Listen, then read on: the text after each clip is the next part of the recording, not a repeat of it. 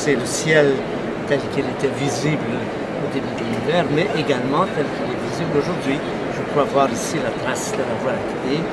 Donc c'est une image de tout notre passé à partir de choses très récentes qui ont quelques années avec des choses qui ont quelques milliards d'années. Si vous aviez pu être présent à cette période, il y a 380 ans, voilà le ciel tel que vous l'auriez vu. C'est l'analogue du ciel tel que vous le voyez aujourd'hui. Ce que nous essayons de faire, c'est de reconstituer premiers instants de l'univers.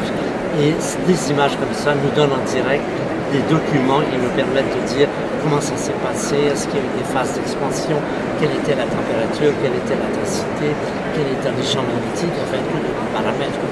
L'image comme celle-là me réjouit, ce document qui s'est donné comme but d'étudier le ciel des premiers temps de l'univers avec la meilleure résolution possible, c'est une mission accomplie.